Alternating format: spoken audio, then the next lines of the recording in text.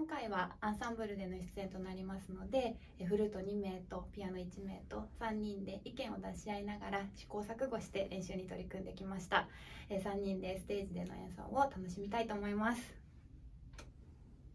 2本のフルートのハーモニーが美しいメロディーやフルートらしい技巧的な部分が聴きどころです。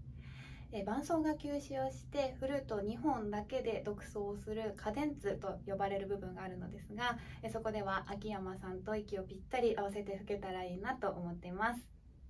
えーと、演奏のタイミングや音程などがよりシビアになりますので1人で演奏している時よりもすごく耳を使って演奏するところです。え会場の皆さんにはもちろん配信でお聴きいただいている方にもこの熱量が届きますよう心を込めて演奏いたします